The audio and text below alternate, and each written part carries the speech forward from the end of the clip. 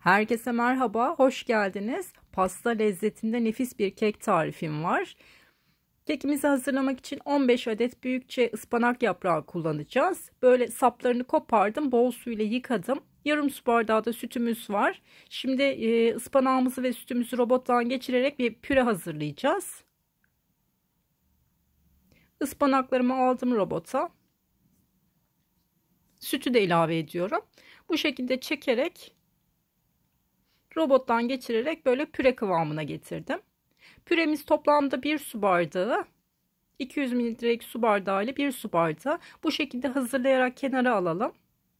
4 adet oda sıcaklığında yumurtamı kabıma aldım. Üzerine 1 su bardağı toz şeker ekliyorum. Şimdi mikserle şekerim eriyene kadar böyle yumurtalarım köpük köpük olana kadar mikserle çırpma yapacağım. 1-2 dakika bu şekilde karıştırın yumurta ve şekerinizi. Bembeyaz köpük köpük olana kadar bakın bu şekilde hazırlayalım.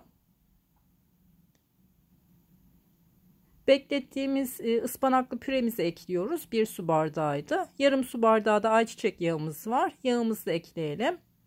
Bunları da biraz karıştıracağım. Toplamda 2 su bardağı un kullanacağız. 200 mililitrelik su bardağıyla 2 su bardağı unumuzu ekliyoruz. Birer pakette kabartma tozu ve vanilya kullanacağız. Onları da ekleyelim. Şimdi mikseri bırakıyorum yumurtamın sönmemesi için bir spatula ile bütün malzemelerimi iyice birbirine karışacak şekilde bu şekilde spatulamla hazırlıyorum. Kıvam olarak da bu kıvamı yakalamaya çalışalım hamurumuzda. 35'e 25 borcam tepsimi sıvı yağ ile yağladım iyice her tarafını. Hazırlamış olduğum kek harcımı böyle hepsini tepsime döküyorum. İyice yaydım. Biraz da havasını alıyorum. Önceden ısıtmış olduğum 180 derece fırında 25 dakika üzeri böyle pembeleşene kadar pişiriyorum. Biraz soğumasını bekledim. Biraz soğuyunca böyle küçük bir bardak ile küçük bir bardak ile bu şekilde boşluklar vereceğiz kekimize. Sıralı bir şekilde aralıklı olacak şekilde. Bakın önce böyle belirleyebilirsiniz yerlerini. Kekimin her yerine bu şekilde boşluklar vererek hazırlıyorum. Ayırmış olduğum parçaları da kullanacağım. Bakın bu parçaları da yine kullanacağız kekimizde.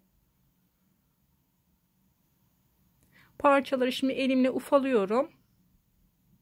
Böyle olabildiğince toz haline getirelim. Bakın böyle toz haline getirip kenara alalım.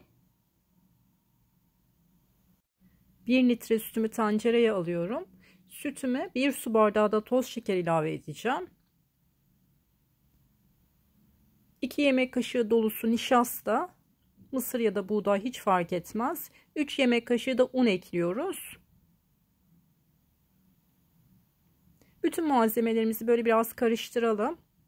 Un ve nişasta iyice gözden kaybolsun. Tenceremi ocağa alıyorum. Kaynamaya başlayana kadar karıştıralım. Kaynamaya başlayıp böyle göz göz atmaya başlayınca 1-2 dakika yine karıştırarak pişirelim.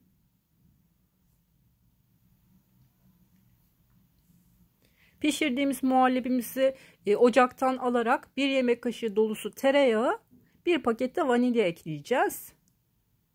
Bunları da iyice bir karıştırarak tereyağımızın erimesini, vanilyamızın da iyice bir karışmasını sağlayalım. Bakın bu şekilde muhallebimizi hazırladık. Bekletmiş olduğumuz kekimize muhallebimizin tamamını özellikle bu açmış olduğumuz gözlere dolacak şekilde muhallebimizi dökelim. Bir spatula ile de iyice yayalım. Her tarafa eşitleyelim.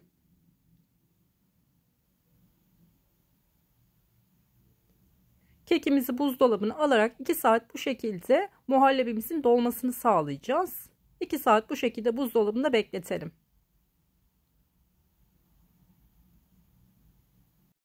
Bir su bardağı soğuk süte bir paket krem şanti ekleyeceğim. Toz krem şanti. Mikserle birkaç dakika Birkaç dakika bu şekilde çırpalım mikserle. Krem şantimiz e, kıvam alana kadar böyle yoğunlaşana kadar çırpalım. Hazırlamış olduğumuz krem şantiyi 2 saat buzdolabında beklettiğimiz kekimizin üzerine muhallebisi iyice soğudu kekimizin. Krem şantimizin erimemesi için mutlaka soğutma yapalım. Krem şantimi de yine bir spatula ile iyice yayalım. Düzleştirelim kekimizin üzerinde. Toz haline getirdiğimiz keklerimizi kenarda beklettiğimiz toz haline getirdiğimiz keklerimizi krem şantimin üzerine böyle döküyorum. Her tarafını kaplayacak şekilde döktüm. Yine 2 saat buzdolabında bu şekilde bekleteceğiz.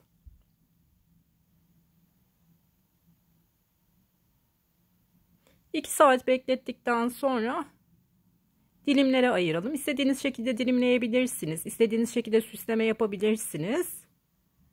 Ben kivi ile süsledim. Çilek de çok yakışır. Kuru yemiş de süsleyebilirsiniz. Toz haline getirdiğiniz kuru yemişlerle de süsleyebilirsiniz. Kekimiz bu şekilde hazır. Şimdi servis yapalım.